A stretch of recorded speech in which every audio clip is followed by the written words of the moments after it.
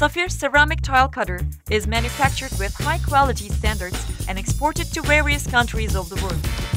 Safir ceramic tile cutter, put into use under the brand of Cristal, is an indispensable equipment of cutting ceramic floor tiles with its modern design. Safir ceramic tile cutters, designed for amateur users, are manufactured in three different sizes in accordance with your needs. There is a carriage system on Safir ceramic tile cutter, which has a single steel guide bar.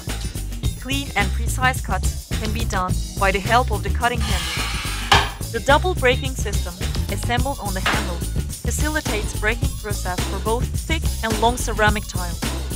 The ceramic tiles that are going to be scored should be leaned on the Zamak ruler.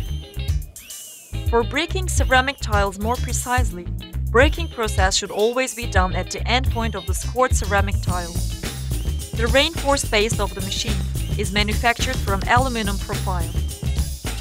45 degree cuts can be done with the help of the plastic apparatus on the ruler.